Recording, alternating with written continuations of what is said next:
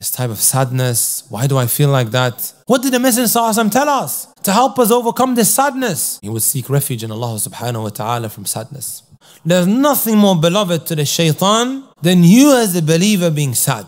Every single one of them is suffering from anxiety and depression. When you feel that maybe tightness in the chest, is that what life's all about? Is it just that box life where one wakes up in the morning, my brothers and my sisters, goes work, 9 to 5, comes back, and then starts watching Netflix series, and then goes sleep, and then his whole week is like that? When things start going wrong, right, we start sitting around feeling sorry for ourselves. An estimated 83.4 million antidepressant drug items were prescribed. I can't leave the drugs. They keep me sane. Why am I going through this? Allah decreed this. Get up and keep it moving, my brothers and my sisters. Sometimes we just don't know what people are going through and we just don't do enough. And she kept on looking at the grave and then looking at the Gucci bag. 3,000 euros in the grave. When we prioritize other than Allah subhanahu wa ta'ala, expect a very, very sad ending. The happiness of one lies in أعوذ بالله من الشيطان الرجيم. إلا تنصروه فقد نصره الله إذ أخرجه الذين كفروا ثاني اثنين إذ هما إذ هما في الغار إذ يقول لصاحبه لا تحزن إن الله معنا. فأنزل الله سكينته عليه وأيده بجنود لم تروها وجعل كلمة الذين كفروا السفلى وكلمة الله هي العليا والله عزيز حكيم. انفروا خفافا وثقالا وجاهدوا بأموالكم وأنفسكم في سبيل الله. ذلكم خير لكم إن كنتم تعلمون.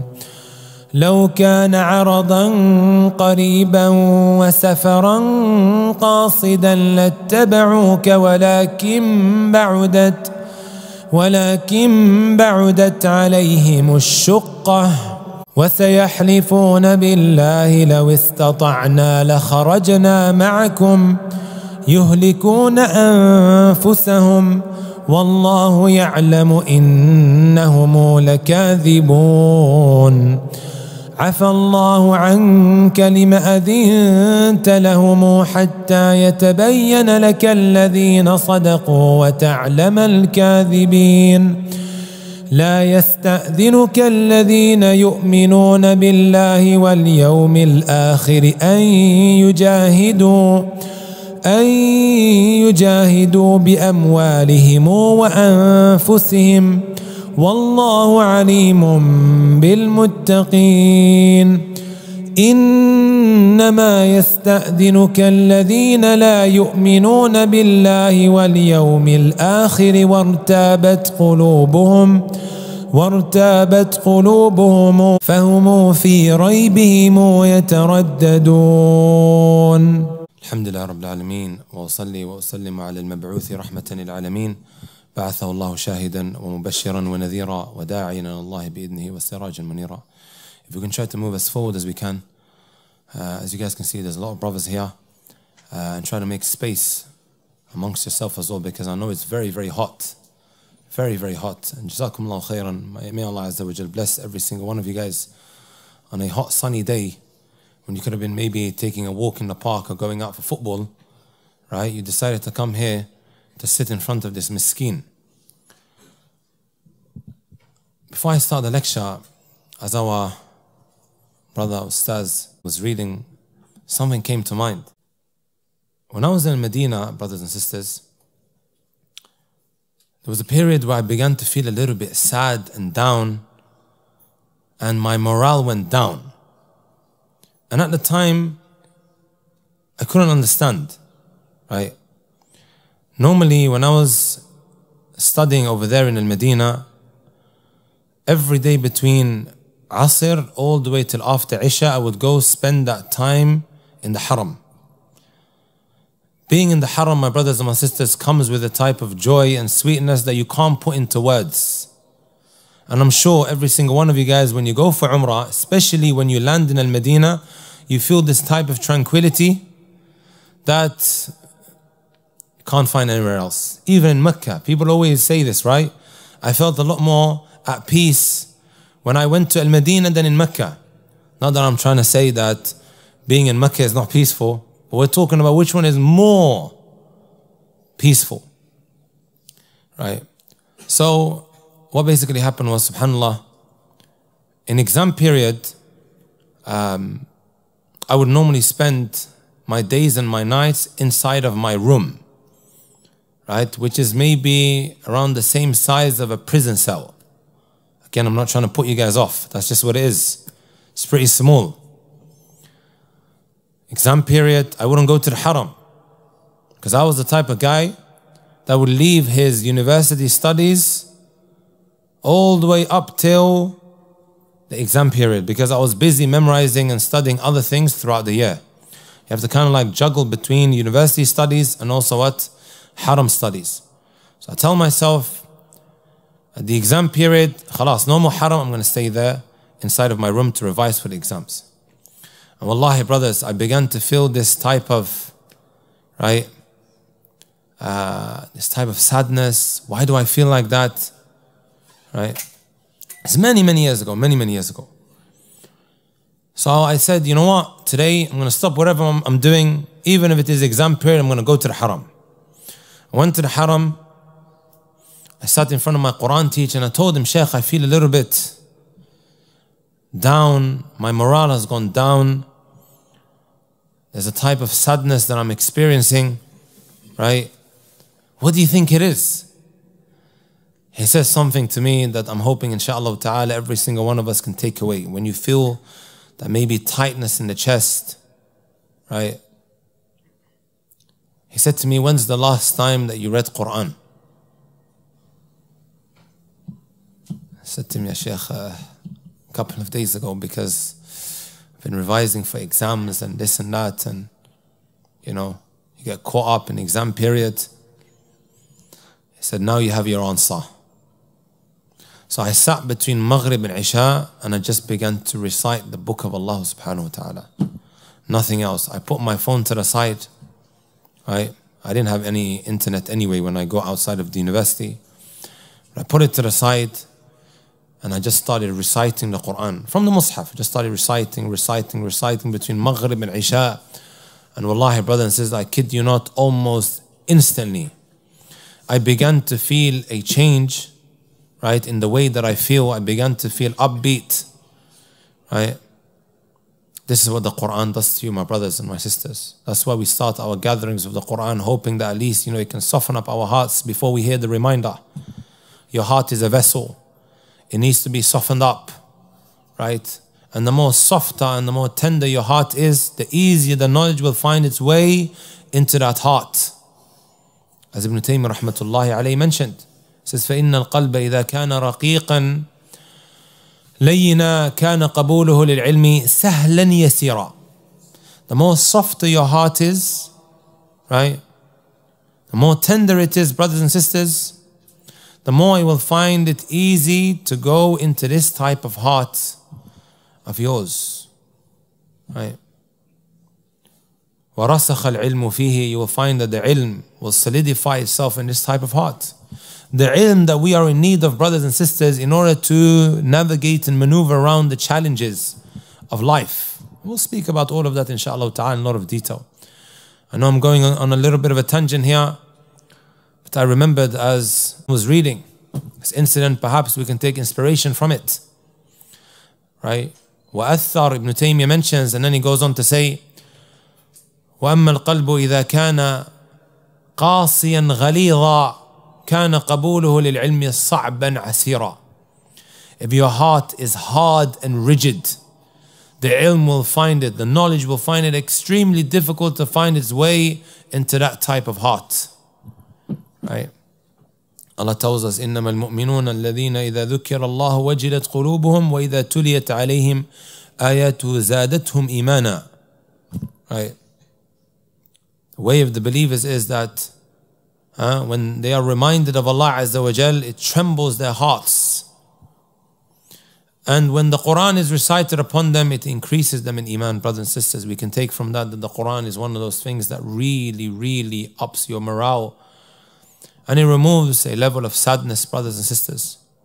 Right? That's inshallah ta'ala benefit from the beginning. My brothers and my sisters,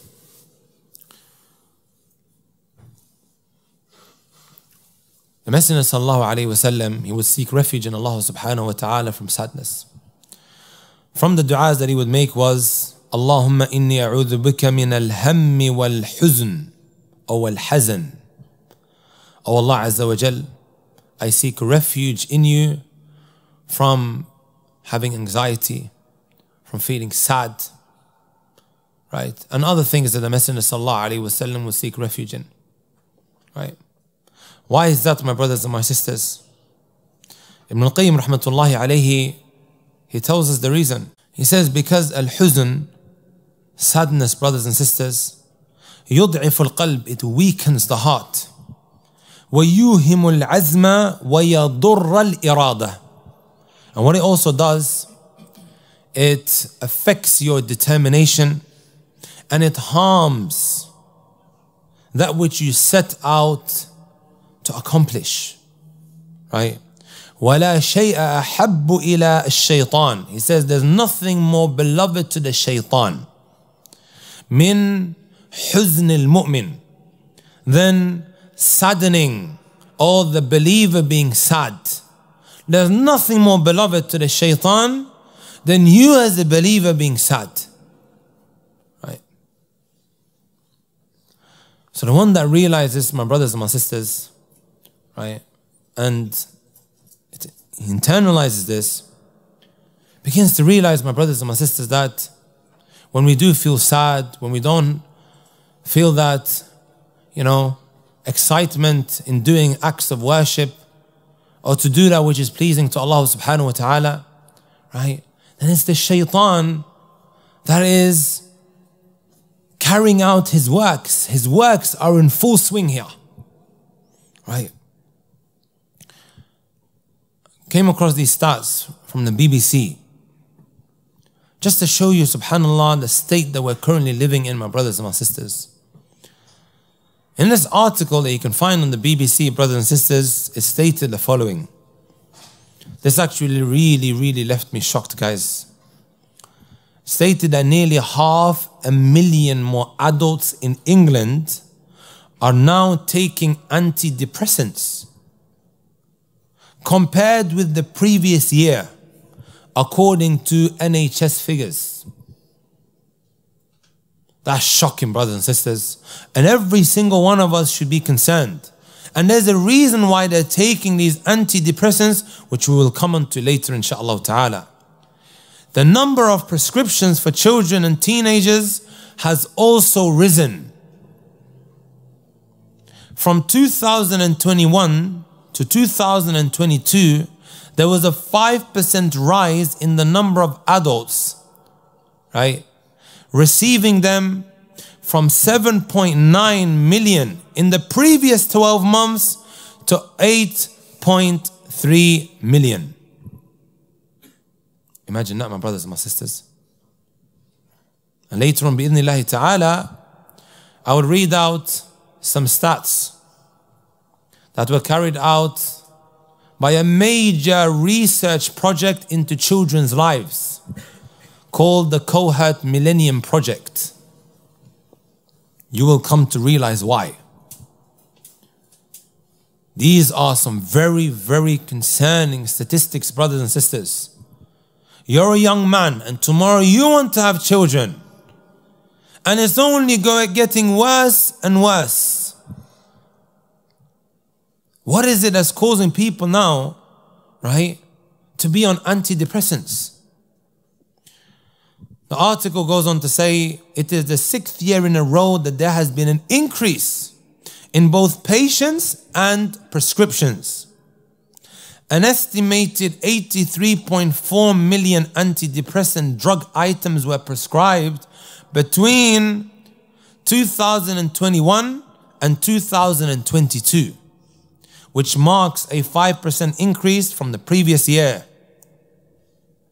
There was also a rise of just over 8% in youngsters taking the medication too. From 10,994 to 11,878 among 10 to 14 year olds. And from 1,000 or oh, نعم 166,922 to 180,455 in the 15 to 19 year olds, brothers and sisters. The other day was a Wednesday. Or was it a Thursday? على كل حال. I was delivering my online class and I was sitting inside of my car. I don't do it at home because Taymiyyah will turn the whole place upside down. So I have to sit in my car when I do my online classes and my meetings. As I was sitting in the car, my brothers and my sisters, I seen so many ambulances and police cars in front of me. I couldn't see. I was inside of my car parked up, but I could see all these ambulances going past at a street that is maybe what, two, three minutes from my house. And then all of a sudden I see people running. But I was inside of the middle of the class. Right? Later on, I found out that a 15 year old Muslim, 15 year old Muslim young man had, right? So I inquired, what was the cause? There's a lot of rumors going around. The may Allah Azza forgive the Muslims, saying all sorts of things, right? But one of the rumors that I heard, uh, or that I saw reoccurring, was the fact that he felt lonely, right? He was maybe even being bullied in school, right? Sometimes we just don't know what people are going through and we just don't do enough to inquire about the state that many youngsters are in, right? We're going to come on to it, inshallah. There are other stats that I really, really want to mention. But now that we realize, my brothers and my sisters, that depression levels, anxiety has gone through the roof. What are some of the things that could help us maybe overcome this sadness and this anxiety and this agony that a lot of us might be experiencing? The first point that I would like to share with every single one of you guys, my brothers and my sisters, is none other than a tawheed. Right? A Tawheed, my brothers and my sisters, is learning the rights that Allah subhanahu wa ta'ala has over you. Right? To single out Allah subhanahu wa ta'ala in that which is exclusive to Him, ifradullah bima yakhtassu bihi. And to stay away from attributing to Allah that which, or should I say, to stay away from attributing to other than Allah that which is exclusive to Allah subhanahu wa ta'ala alone. How many of us, my brothers and my sisters, know the rights of Allah Jalla fi'ula upon us? Right? How many of us have actually sat down to learn what are the rights of Allah subhanahu wa ta'ala upon me as a Muslim? Right? Our sole reason of existence, my brothers and my sisters, is none other than to worship Allah Azza wa Jal alone. He did not create us to become university students. He did not create us to become professionals or to even work. Not that I'm saying you shouldn't do any of these things. La abadan, I didn't say that.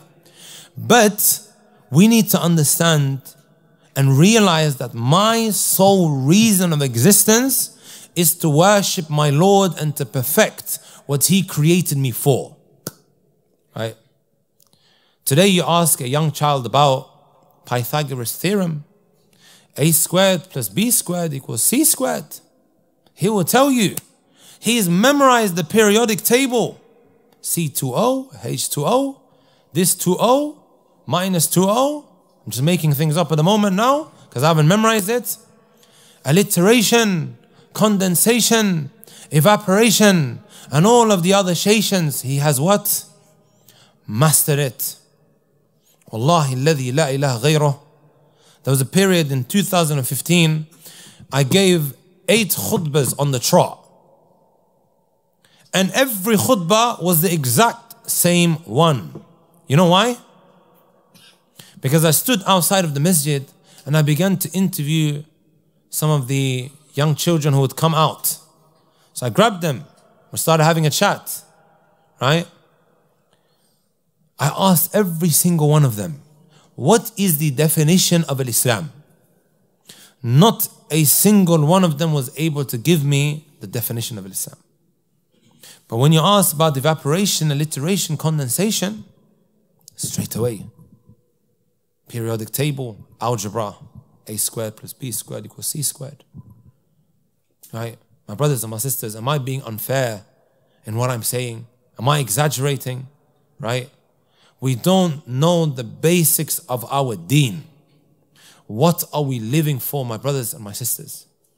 Right? What are we breathing when walking on the face of this earth?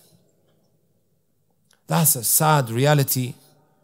And then parents, right? They're blasting my phone. Please speak to my child. He's having doubts about his deen. He's on the verge of becoming an atheist. But why though? What is the root cause for this? None other than ignorance.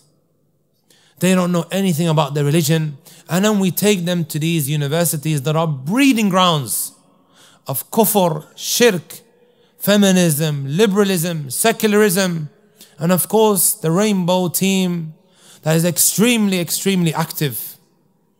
Hmm? Charging at vulnerable Muslims who don't have the tools to equip themselves in repelling these doubts that are going to come their way. People always message him saying, Brother, I don't feel that connection with Allah Azza wa Jal. I don't feel that love. Why is it that I can't taste the sweetness of ibadah?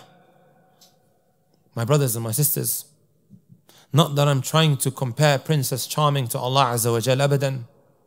But let me ask you guys, right? Who from amongst you is engaged? Huh? Don't worry, no evil eye, huh? Who from amongst you is engaged or found a sister that he wants to get married to? None of you guys? Ajib. You guys all right? Huh? Huh? Go on. Yourself? Who put his hand up? If you don't mind me asking, why did you specifically pick her over every other lady that you know of? Why her? What is it that you saw in her that caused you now to grow this love for Princess Charming? She's a practicing Muslim. Good. Number one. What else? Say mashallah, guys. Allahumma barik. Don't give him your evil eye. Huh? Huh? Good family. What else? She's got wealth. You can take all of her money. Uh, طيب. What else? Tomorrow, when you come to find out that she prays at night, you're going to be like, I've hit the jackpot. صحيح. قيام الليل قوامة بالليل صوامة بالنهار. And that is because you came to know about all of these different characteristics and qualities that this lady possesses, right? You have this inclination, this love towards her, صح? Now look at Allah subhanahu wa ta'ala. ليس كمثله شيء وهو السميع البصير ولله المثل الأعلى. Again, I'll make this very clear. Not that I'm trying to compare Princess Charming to Allah Azza wa Jal, but how is it, my brothers and my sisters, that we expect to love Allah subhanahu wa ta'ala and we don't know anything about Him? Ibn al-Qayyim says, فَمَنْ عَرَفَ اللَّهَ بأسمائه وصفاته وأفعاله أحبه ولا محالة Whoever learns about Allah subhanahu wa ta'ala, His names and His attributes and His actions, right? It is a must that he's going to grow a love for Allah subhanahu wa ta'ala. La shakka wa la my brothers and my sisters. We know absolutely nothing about the Almighty Creator.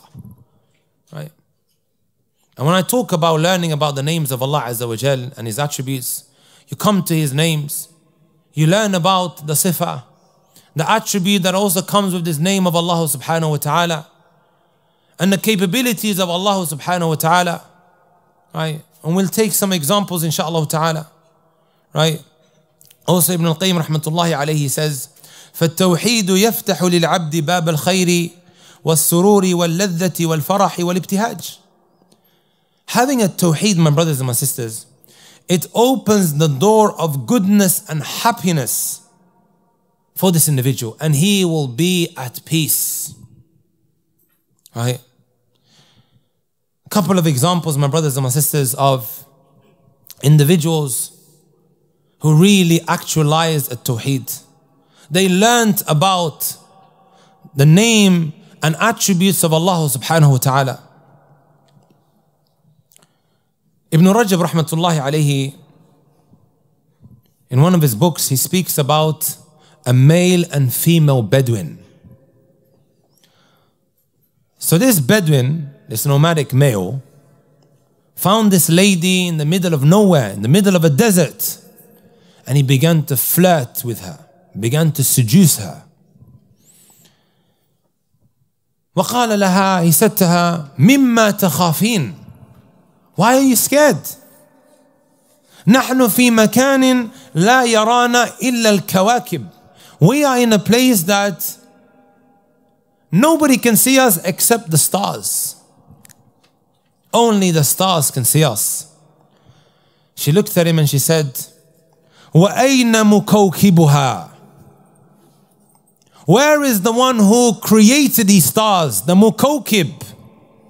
أين خالق الكواكب ورب الكواكب The Lord of these stars, where is He? ألا يرانا Does He not see us, my brothers and my sisters? فكف الرجل He withheld from doing any haram with her. She instilled within him the name of Allah subhanahu wa ta'ala al-Basir, al-Raqib. Allah subhanahu wa ta'ala can see everything. Allah subhanahu wa ta'ala is watching over us. And he hit him hard, my brothers and my sisters, and he stayed away from that sin. Now, when you're under your blanket, both old and young, male and female, you come across these videos and you think that nobody is watching. Look how we behave, my brothers and my sisters, when there is a CCTV in the building and it's watching every single step that we take and every move that we make. How we would behave. Again, I'm not trying to compare Allah to a CCTV. ليس كمثله شيء وهو السميع البصير. But look how we behave. But Allah subhanahu wa ta'ala who watches over every single detail. what is our response, my brothers and my sisters? Have we really internalized some of these names of Allah Azza wa Jal and the attributes that it comes with.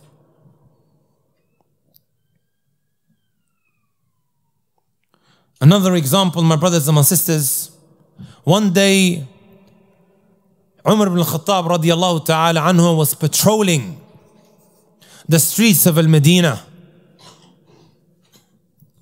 Him and his servants, they became tired, so they began to lean on a wall. We mentioned earlier that Ibn al-Qayyim rahmatullahi alayhi said, فَالتَّوْحِيدُ يَفْتَحُ لِلْعَبْدِ بَابَ الْخَيْرِ Right? That a tawheed, it opens doors of goodness for that individual who puts time and effort in learning about the rights that Allah Azza wa has over him. Allah is most beloved to him, he learns about him and he continues. Look at the goodness, my brothers and my sisters, it brought this young lady. So Umar al-Khattab radiallahu ta'ala anhu is leaning back on one of the homes of Al-Medina at the time. And of course, the buildings in that time was not built the way it is today. As you're walking past, you can hear the conversations that are taking place inside of these homes, right? So as he was leaning back, the mother, she instructs her daughter, قومي إلى ذلك اللبن Go to that leban, go to that milk. فأمزجه بالماء and mix it with water. يا أمه, she says, Oh mother. وما علمت ما كان من عزمة أمير المؤمنين اليوم Didn't you hear about the law that Umar ibn al-Khattab radiyallahu ta'ala anhu passed today? وما كان من عزمته? She asks. What is it that he told the people today? إنه أمر مناديا فنادى لا يشاب اللبن بالماء He instructed someone to call out and the decision that they took was that milk should not be mixed with water. يا بنيتي, she says, O daughter, قومي إلى اللبن فأمزجيه بالماء فإنك في موضع لا يراك فيه عمر. O daughter, stand up. Go and mix that water with a leban with milk. You are indeed in a place where Umar can't see you. And likewise, those that work with Umar, they won't be able to find out what you are doing.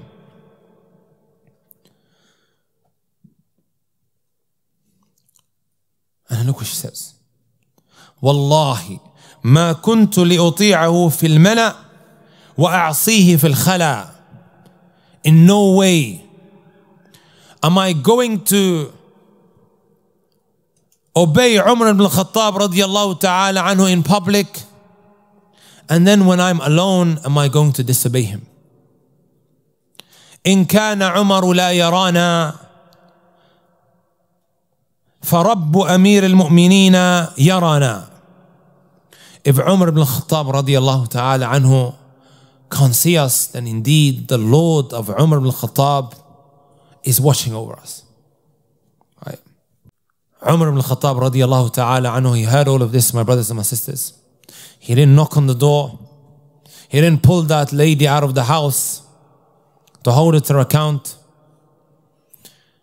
He went home that night and in the morning he woke up all of his children to give them this proposal of marrying this lady that he still hasn't seen with his eyes. He heard her establishing a tawheed, internalizing what Allah subhanahu wa ta'ala has instructed her with to learn about the rights that He has over her. Right.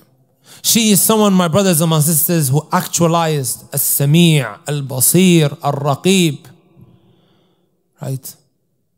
And she is applying it now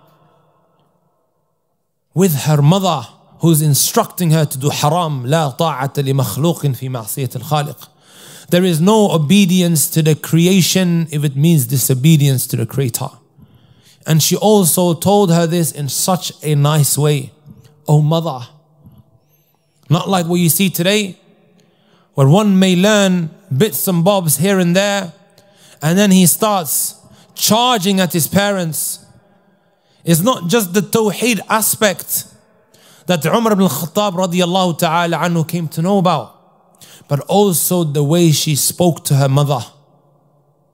Right? And these are characteristics that you want in a woman, my brothers and my sisters. So next morning, my brothers and my sisters, he woke up his children and he said, Who from amongst you wants to marry this lady? This young woman.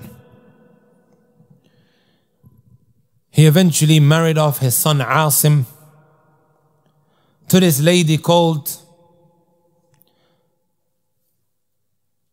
Umm Amara bint Sufyan ibn Rabi'ah al-Thaqafi. It doesn't stop there, my brothers and my sisters. We mentioned Ibn al-Qayyim says that at Tawheed, opens doors of goodness. Right? Later on, what happened, my brothers and my sisters? The daughter that they had Layla, she got married and they gave birth to none other than Umar ibn Abdul Aziz. And Umar ibn Abdul Aziz, my brothers and my sisters, does not need an introduction. even though he was the eighth Umayyan caliphate, right? The scholars of Islam like Sufyan al-Thawri rahmatullahi alayh and other than him, they considered him like the fifth caliphate after Abu Bakr, Umar, Uthman and Ali.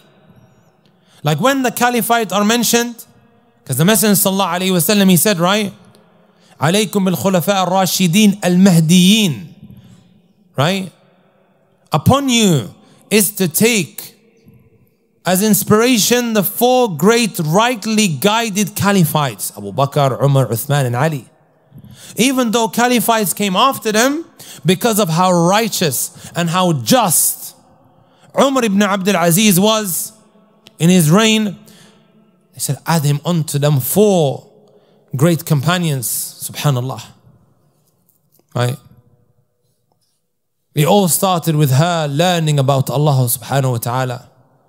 And then all of this goodness came out of that, brothers and sisters. Ibn al-Qayyim rahmatullahi alayhi says, brothers and sisters, وليست حاجة الأرواح قط إلى شيء أعظم منها إلى معرفة باريها وفاطرها. The heart, the heart he talks about he says, is not in need of anything more greater than the nourishment of learning about his Lord. And this is what's going to grant you al-mahabba, he says, and peace, and so on and so forth. And he says there's no way right, of learning about Allah Azza wa Jal except by way of His names and His attributes because that's the only source of knowledge that we have of Allah subhanahu wa ta'ala. Is there anything else that we know about Allah Azza wa Jal other than what Allah told us from the names that He possesses, right? And when I talk about names and attributes, my brothers and my sisters, I'm not talking about these debates that people are having on Twitter, right? I'm talking about learning about who Allah Azza wa Jal is. These theological debates should not be happening in public. Right? We should be more concerned about attaching the people to who Allah Azza wa Jal is, these names, and what does it consist, and how can I now apply this in my day-to-day life, my brothers and my sisters? How can it impact me? Right? Just like it impacted that Arabiyah that female Bedouin, and how she instilled within that person who tried to do haram with her. Right? Even when you look at Yusuf alayhi salatu wasalam, when she locked him inside of that chamber, and she said to him, Hey talak, or Hey tulak, let's get it on. Right? And nobody was watching. He turned to Allah subhanahu wa ta'ala, إِنَّهُ رَبِّي أَحْسَنَ مَثْوَاي إِنَّهُ لَا يفلح الظَّالِمُونَ Allah subhanahu wa ta'ala, my Rabb, the scholars of tafsir, they mention, right? Here the Rabb could either be referring to his master who's been so good to him, from where he was and where he allowed him to live and be brought up in. And others mention Allah, all of the favors of Allah subhanahu wa ta'ala upon him. Even though nobody was watching, he could have done that haram and he could have saved them a lot of trouble. Well, that's what we think, right? The trouble of this dunya. Forgetting about all of the trouble that could come to us in the hereafter, my brothers and my sisters. Right? إِنَّهُ رَبِّي أَحْسَنَ مَثْوَاي He began to remember all of the favors of Allah upon him. Allah did this for me, did that for me, and now I'm going to throw it back at him. Right? I'm going to disobey Allah Azza wa Jalla after everything is done for me. Number two, my brothers and my sisters. تقديم هوى النفس على حق الله عز وجل. That which is going to bring about sadness, right? And cause you misery and agony is putting your desires and that which you are tempted to carrying out before Allah subhanahu wa ta'ala. Right? This is going to bring us misery, it's going to bring us sadness, it's going to bring us unhappiness. Right? And when you do Allah subhanahu wa ta'ala, or when you fulfill the commandments of Allah subhanahu wa ta'ala, Especially, especially, my brothers and my sisters, when you find yourself in that predicament. You are being called to haram, right? Your friends are inviting you. It's only one time, it's only one time. Don't worry, nothing is going to come out of it. Look what Ibn Rajab rahmatullahi alayhi mentions. ما قدم أحد حق الله على هوى نفسه وراحتها إلا رأى سعادة الدنيا والآخرة. Never does an individual, right, give precedence to the rights of Allah subhanahu wa ta'ala over that which he desires and is tempted to. Right? Except that he will see happiness in this dunya and likewise the hereafter.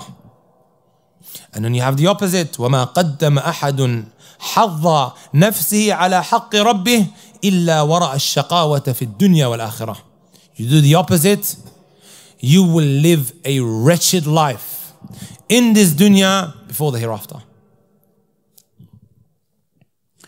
You know, my brothers and my sisters, a lot of us may think that when we carry out sins, when we give in to these temptations and our desires, that the only time, the only time that we will have to answer to Allah subhanahu wa ta'ala is when we meet Him on Yom Al Qiyamah. Many of us think that, not realizing that there, that there are immediate consequences. And the sins that we fall into, and these kind of mawaqif, these kind of stances that we take, it will come back to haunt us. Right? The only thing that affects your tawheed isn't just shirk, my brothers and my sisters. Shirk, it completely removes it altogether. Sins, innovations, and then likewise, minor shirk is going to affect your tawheed up until there is nothing left whatsoever. That's the most precious thing to you, right?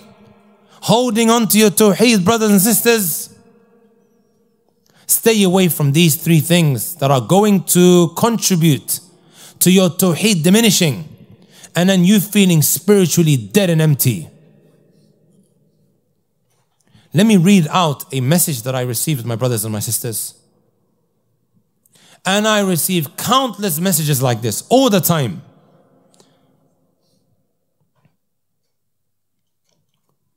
Assalamu alaikum, Sheikh. I don't know if you received this due to your following and large amounts of other messages, but I've been watching a lot of your videos and they've been helping me a lot. Shukran. I have a question. Look what he says, guys. I've committed a lot of sins in my past. I've struggled with women and drugs, especially. I was in a haram relationship with a revert, and she was an amazing woman.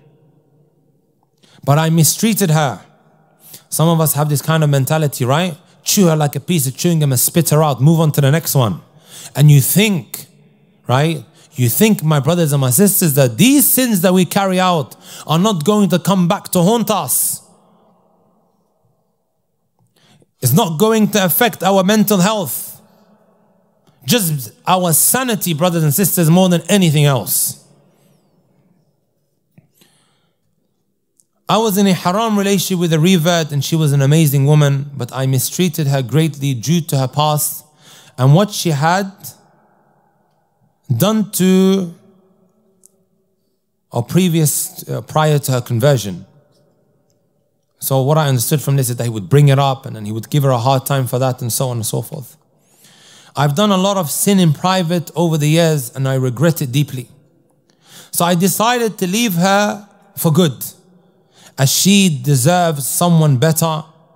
And I could never marry a woman who've or whom I committed all of these sins with behind her back.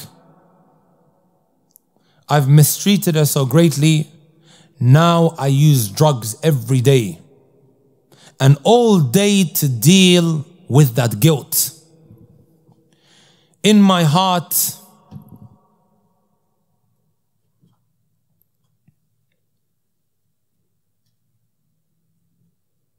I feel so sad and miserable.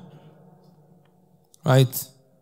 And I want a good Muslimah, a good Muslimah wife. And I think Allah could never forgive me.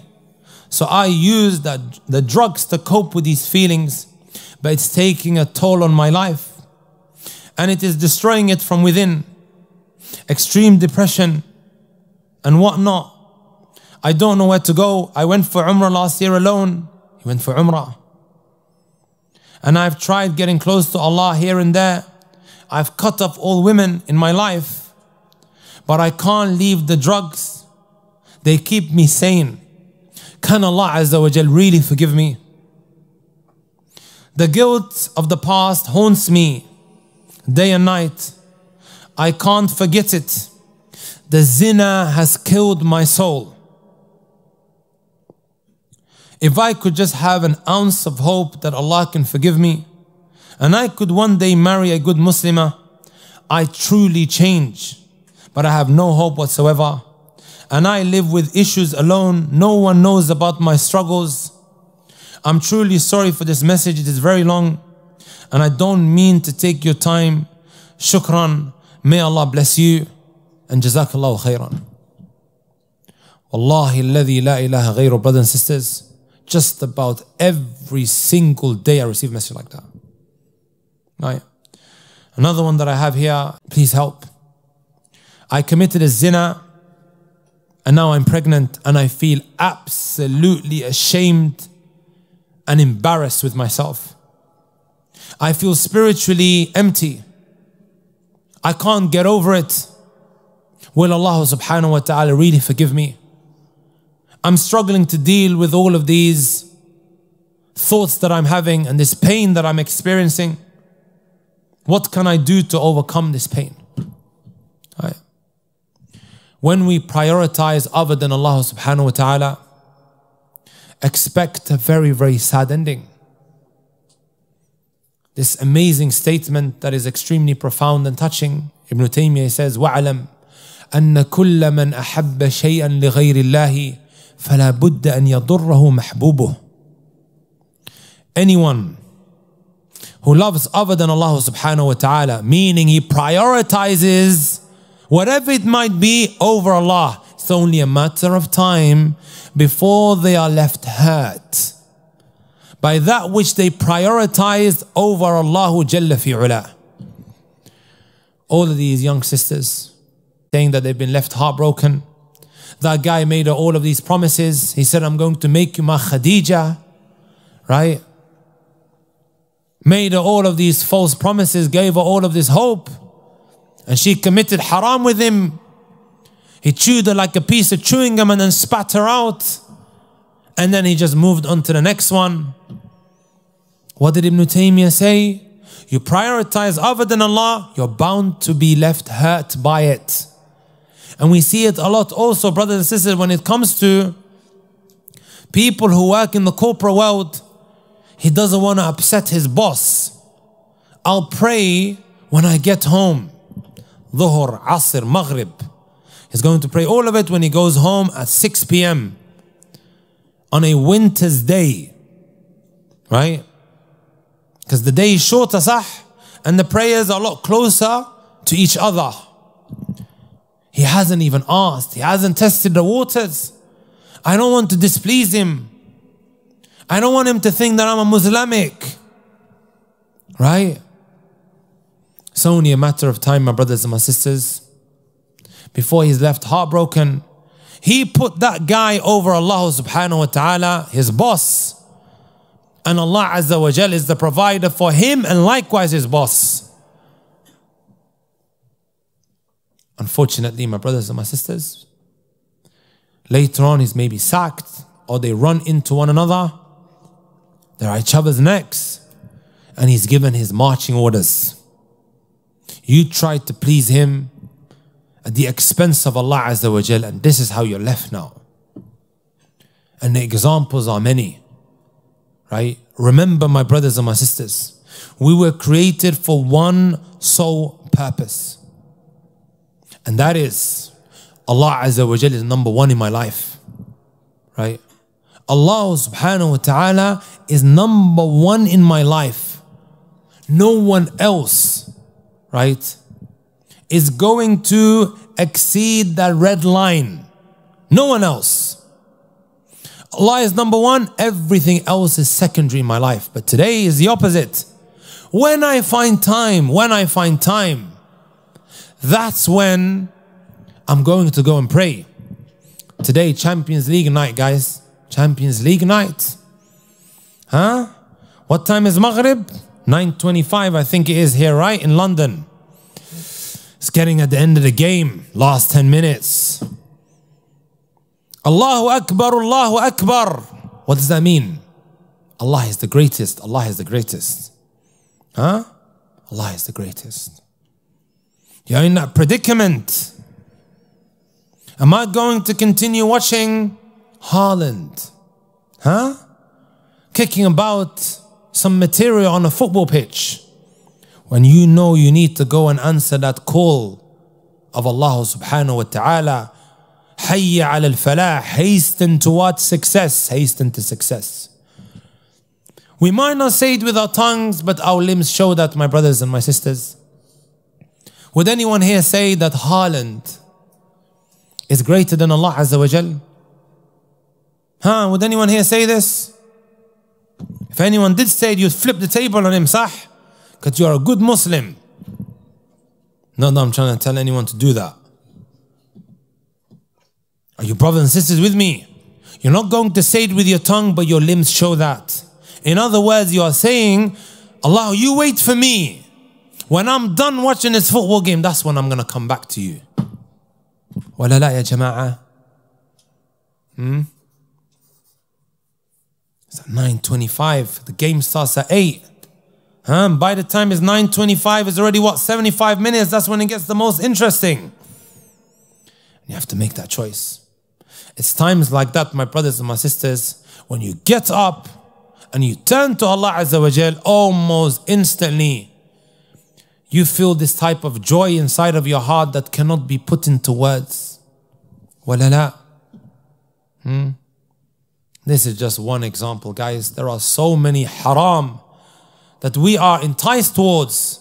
Everything is saying to us, hey telek, hey telek, let's get it on, especially in university settings. Hmm?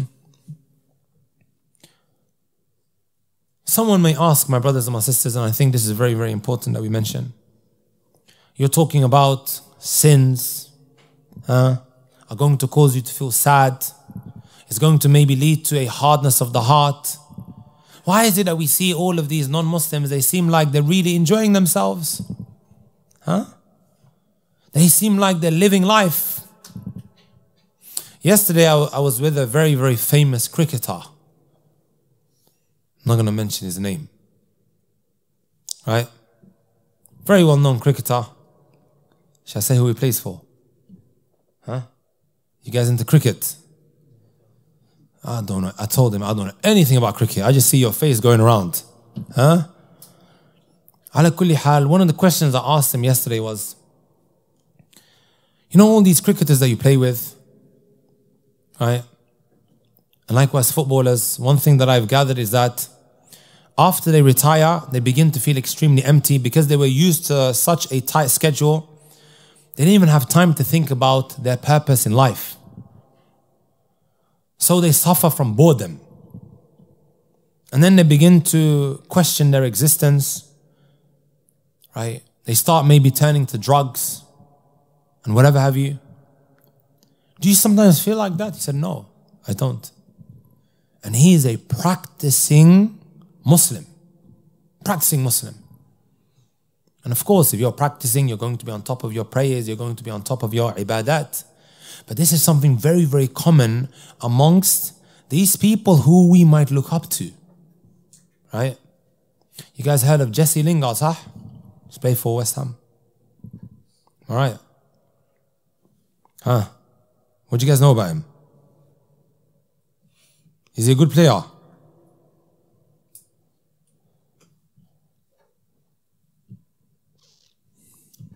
You guys probably think that Jesse Lingard is living the life, sah? How much is he on? He said 200k today, mashallah. huh? He was playing for Manchester United, and he found himself on the bench.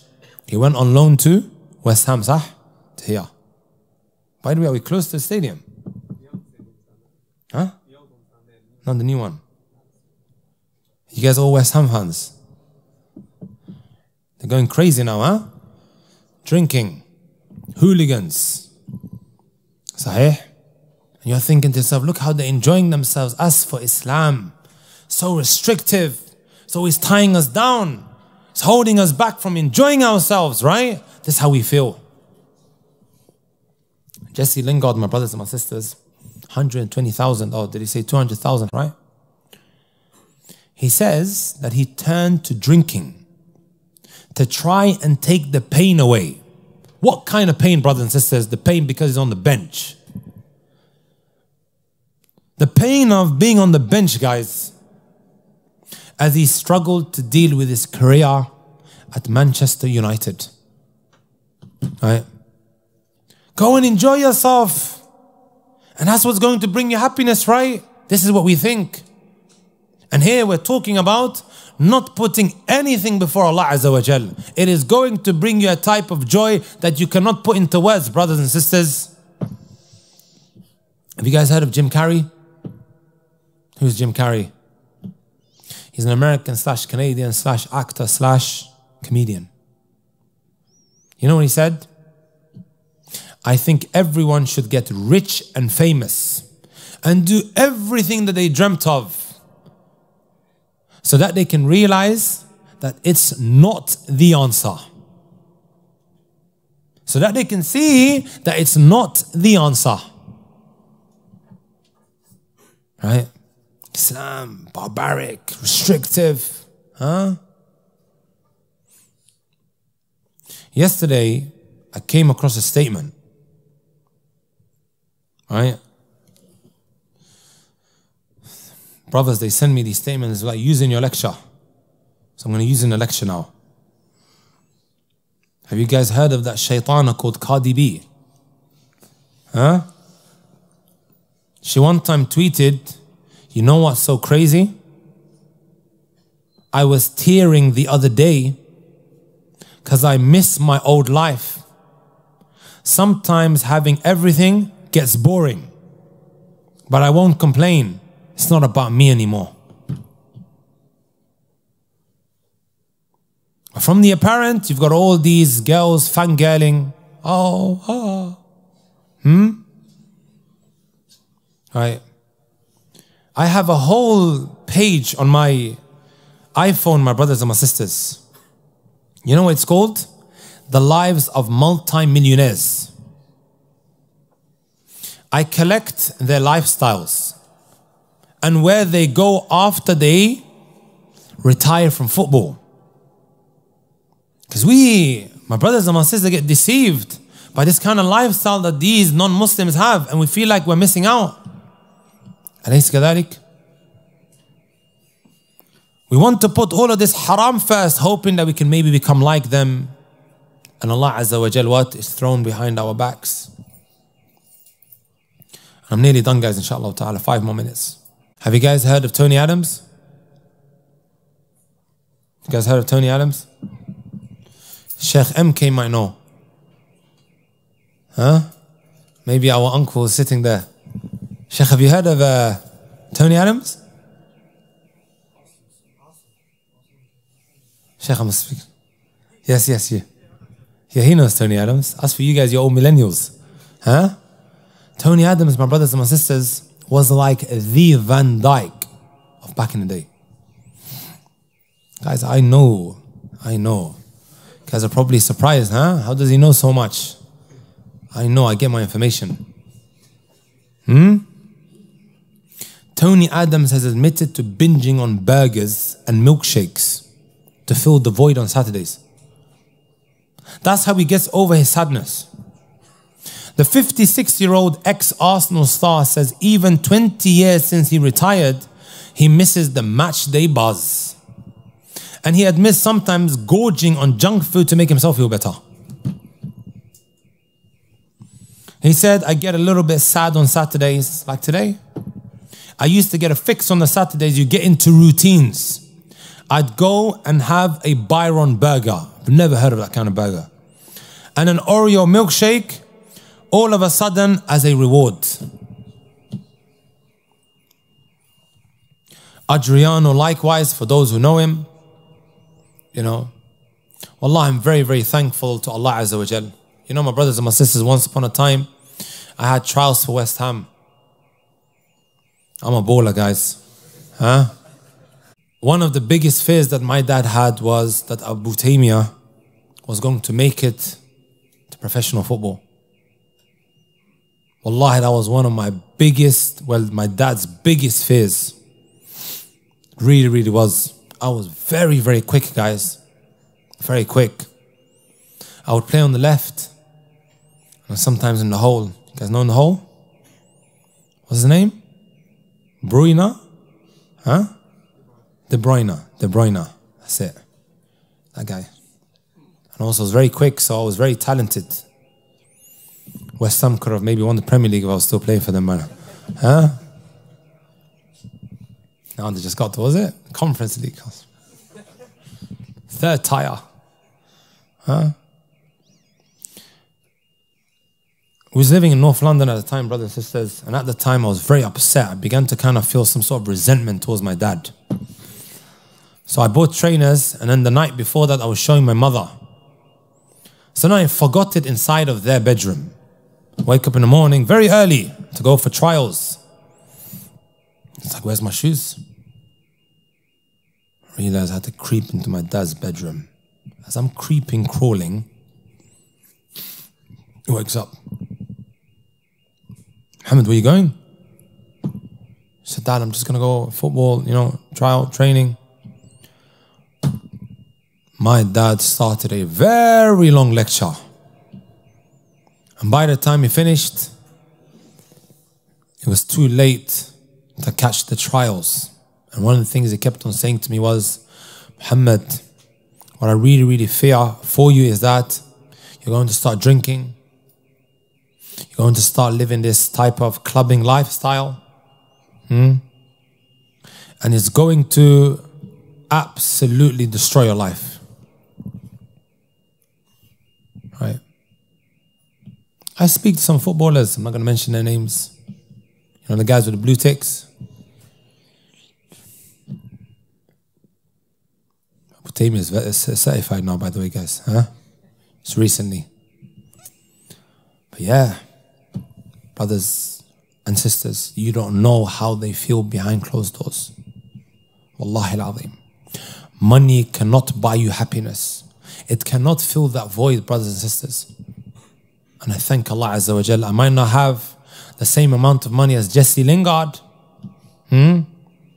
but I feel content right? I feel content with whatever Allah subhanahu wa ta'ala has given me.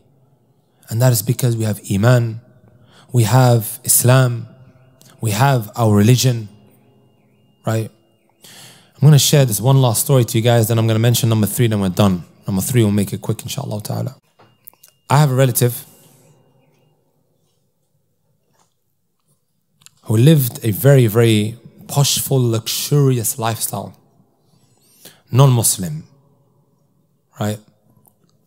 She was the type of individual, my brothers and my sisters, that would go on these shopping sprees where she would spend 10,000 pounds at a time or 10,000 euros at a time. Wallahi la ilaha ghayru. I'm not adding anything, I'm not taking anything out. And she told me this personally. 10,000 pounds each time. Right? Gucci, Louis Vuitton, you name it. And she said she would cry herself to sleep, even though she had everything that money could buy that she wanted. She was in a relationship and everything. Hmm. The mother Hassal, her grandmother passed away. She went to visit her grave she found herself standing on top of this grave holding this 3,000 pounds or 3,000 euros Gucci bag. And she kept on looking at the grave and then looking at the Gucci bag. 3,000 euros in the grave. Picture that moment, my brothers and my sisters. And she's asking herself, is that what life's all about? Is that what life is all about? The non-Muslims, my brothers and my sisters, they don't want to hear about something called death. It scares the living daylight out of them. One time I went all the way to Portsmouth, all the way to Portsmouth for a three-minute kalima, three-minute speech, guys, at a football pitch. The brother asked me, please come. There's going to be non-Muslims and just give them a reminder. It was around the same time when Christian Eriksen had passed out on the pitch. I don't know if it was the Euros or the World Cup. I try to make them understand it's live, just a game. Wallahi alladhi la ilaha ghayruh. Right?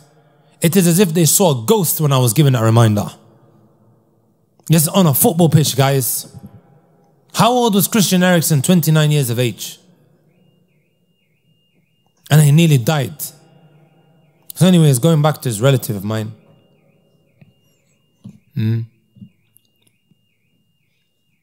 This is how she ended up becoming a Muslim. Is that what life's all about?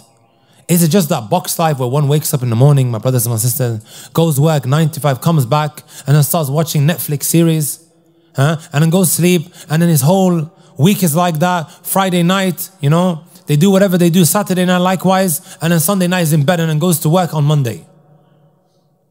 Is that what life's all about? It makes an individual think, brothers and sisters. Right? And now, even though she doesn't have what she possessed before, she says, I'm extremely content with what Allah Azza wa has given me. Right? And that is because Allah is number one in my life. Even a lot of reverts, when you speak to them, especially if they were female and they were living that kind of reckless lifestyle, they feel absolutely disgusted about the kind of lifestyle that they had and how they used to spend their Friday nights and Saturday nights. And rightfully so, my brothers and my sisters. Are you guys with me? And rightfully so. It's a disgusting type of lifestyle. And this is what a lot of these people are going through, right? When they find themselves in these very compromising situations. All of these YouTubers, and I've said it multiple times, guys Logan Paul, KSI, Justin Bieber, right? Even Fousey Tube. Every single one of them is suffering from anxiety and depression. They themselves have mentioned, and I remember sending this to my little brother. I was like, What do you think? I was like, Wow, subhanAllah, they're living double lives. All of them are admitting we are living two different lives. The life that you see online is very different to the one that you see behind closed doors. Right? Allah is number one in my life, brothers and sisters. That's how we should be. And last but not least, and this one's very, very important, it is الرضا بقضاء الله وقدره. It is to submit to what Allah subhanahu wa ta'ala has decreed. Right? Shaykh al-Islam Taym rahmatullahi alayhi would say, سعادة العبد أن يسلم للمقدور. The happiness of one lies in him submitting to what Allah subhanahu wa ta'ala has decreed. عجبا لأمر المؤمن إن أمره كله خير. The Messenger told us, the affair of the believer, the Muslim, it is amazing. Right? Everything that happens to him, it is good for him. If he goes for a hardship or a difficulty, he's patient and that's good for him. When things are going great, he's thankful and that is good for him. Messenger sallallahu alaihi wasallam is telling us Realize that, comprehend that, let that resonate with you, my brothers and my sisters. A lot of time, what happens when things start going wrong, right? We start sitting around feeling sorry for ourselves. Sahih. What did the Messenger tell us? To help us overcome this sadness. لا تقل لو أني فعلت كان كذا وكذا. Don't say if only I did this and only I did that and uh, no. Say, قدر الله وما شاء فعل. Allah decreed is get up and keep it moving, my brothers and my sisters. Again, from the names of Allah, right, is what? Al Hakim. أليس الله بأحكم الحاكمين? Isn't Allah subhanahu wa ta'ala the most wise, my brothers and my sisters? Everything happens for a reason. Whether we see the good in it or not. Shaykh Islam Taymiyyah rahmatullahi alayhi mentions, أن الله عز وجل لا يخلق شرا محضا. There isn't anything that Allah creates that is purely evil. Nothing. It is what subjective He says. Right? It is subjective. Depends how you look at it. You could put a positive spin on everything. Allah is all wise, my brothers and my sisters. How many a time, my brothers and my sisters, and I love using this example. Have we been in a position where we so desperately wanted and wished for Princess Charming? You really desperately wanted her. And you did everything in your capability, in your power to secure her. But it just didn't happen. Right? And to make things worse, your best friend comes along and he snatches her from under your nose. Does it happen without a shadow of a doubt? I'll tell you guys a similar story, right? There was this brother who was really badly wanting to marry the sister The wedding day is getting closer and closer. And then guess what?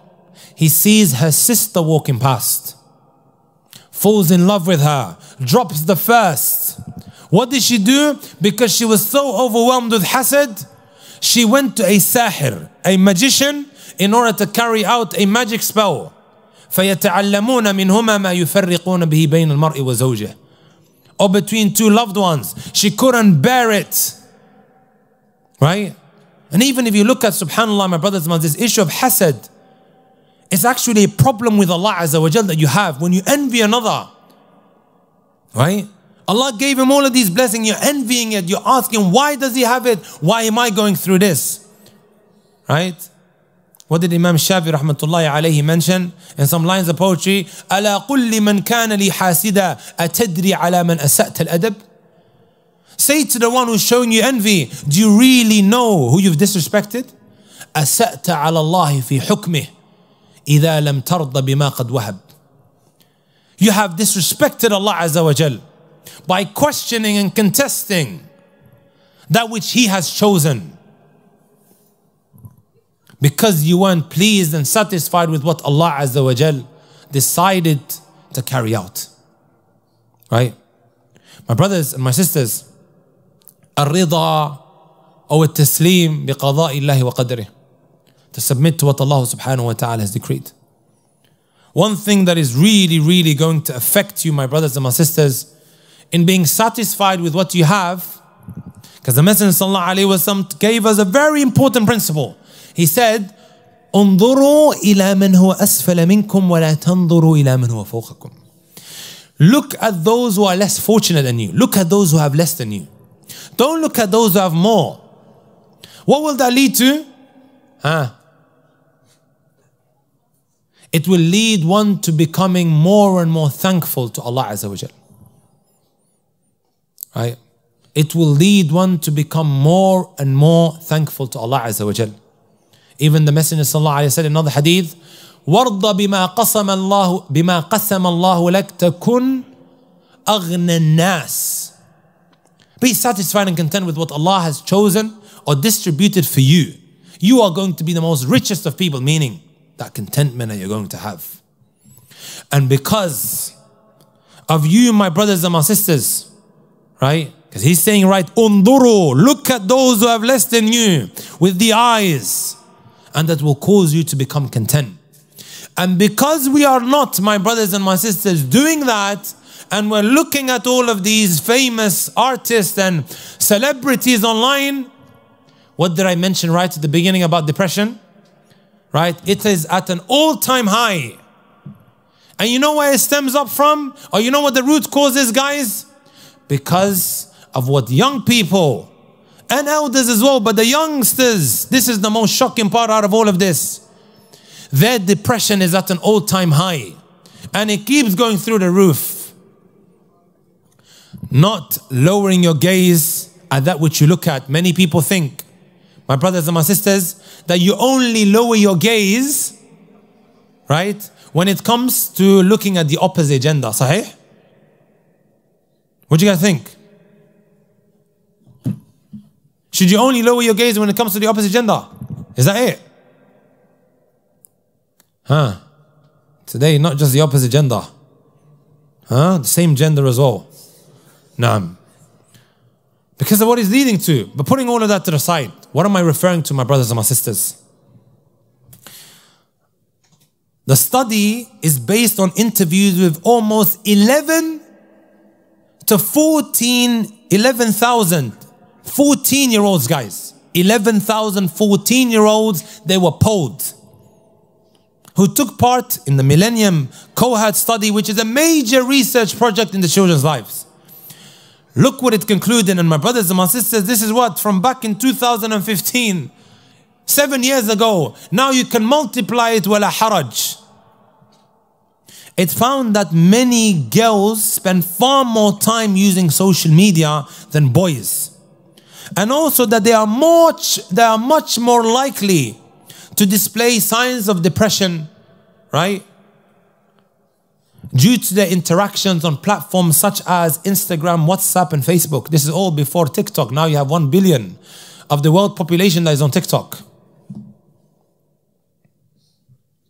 Almost 40% of girls who spend more than five hours a day on social media, they show symptoms of depression.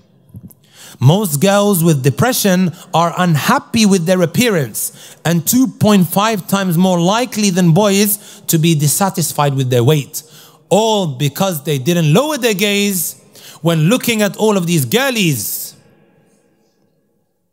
Huh? And all of these celebrities that are idolized and popularized and portrayed as the ideal woman of how a woman should look like. Am I wrong to say that, brothers and sisters? I tell sisters, stop following these celebrities. Likewise, brothers, stop following these celebrities and all of these other guys who are flashing their dunya. You're looking at it and you feel like you're missing out. I don't have it. So what does he do? He goes and starts doing haram in order to acquire the glitters and the glamours of this world. People are taking out haram loans because what? He visited a house that is so nicely built I don't have it, but he does. Let me go and take out that haram loan. ولا تمدن عينيك إلى ما متعنا به أزواجا منهم زهرة الحياة الدنيا لنفتنهم فيه. Allah told His Prophet sallallahu alaihi to lower his gaze from what? From the dunya, guys. You're constantly looking at it and you're feeling right sorry for yourself. I don't have it. He has all of that. And that causes you to become so ungrateful. Why does he have it? Why don't I have it? التسليم لما قدره الله عز وجل brothers and sisters to submit and accept what Allah عز وجل has chosen for you go and look at all of those masakin those poor people in places like Syria and Turkey guys and the rest of the world and what they're going through right Allah understand Allah is a sad state. Really, really a sad state. Those statistics at the beginning, they were terrifying, guys. That scares me of how they will be growing up. Especially with this happening to the children. That 15 year old child that, that I mentioned right at the beginning. And a lot of the time, brothers, it stems off, and the root cause is what we keep on looking at. Stop following these guys. And we'll stop there, inshallah ta'ala. I honestly apologize that I wasn't able to go through, you know, through all of the 10. Brothers and sisters, my humble advice to every single one of you guys is to learn your religion. Otherwise, you'll just see yourself going in circles and circles and circles all the time. Now, this little bit that we've learned, my brothers and sisters, we have to apply it. We have to learn more about Allah and His names and His attributes. Right? in order to be a lot more conscious of Allah Azza wa Jal. وَمَنْ كَانَ بِاللَّهِ أَعْلَمْ كَانَ بِاللَّهِ أَخْوَفْ The more you know about Allah Azza wa Jal, the more, my brothers and my sisters, you are going to what? Be conscious of Allah Jalla fi'ula. جزاكم الله خيرا وبارك الله فيك. Again, I just want to thank you guys on a Saturday huh? afternoon when the weather is so beautiful. Right? You guys came to sit here in the masjid. I ask Allah Azza to honor every single one of you guys. Jazakum Allah khair for packing the masjid out. Assalamu alaikum wa rahmatullahi wa barakatuh.